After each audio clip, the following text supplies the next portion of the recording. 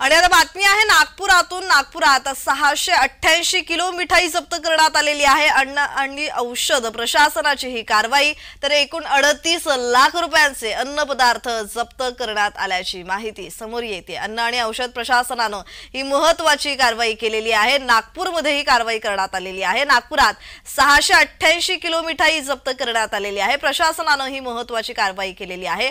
अन्न आणि औषध प्रशासनानं ही कारवाई केली असून एकूण सदतीस लाख रुपयांचे अन्नपदार्थ जप्त करण्यात आलेले आहेत.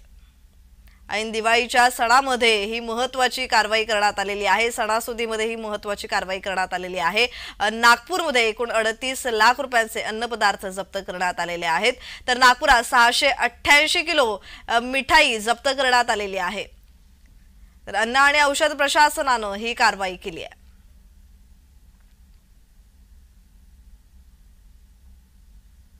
तर या संदर्भात अधिकची माहिती देत आहेत आमचे प्रतिनिधी हितेश मेश्राम. हितेश या संदर्भातला अधिकचा तपशील.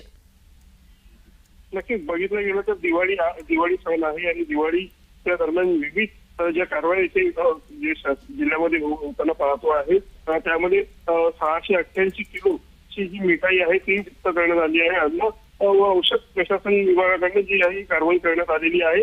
आणि या अनुषंगाने जर बघितलं गेलं तर विविध कारवाईमधून एकूण जे आहे अडतीस लाख इतका जे आहे रुपयांचा जो आहे माल जो आहे तो जप्त करण्यात आलेला आहे. मिठाईचे जे आहे एकूण बावन्न नमुने जे आहे घेण्यात आले असून एक लाख दहा हजार रुपयांचा जो आहे माल जो आहे सहाशे अठ्ठ्याऐंशी किलोचा साठा जो आहे तो जप्त करण्यात आलेला आहे. त्यामध्ये जी. बघितलं गेलं तर रवा मैदा बेसन कणिक भगर इत्यादी जे अन्न पदार्थ जे आहेत त्याचे एकूण एकशे चाळीस जे नमुने घेतले आहेत.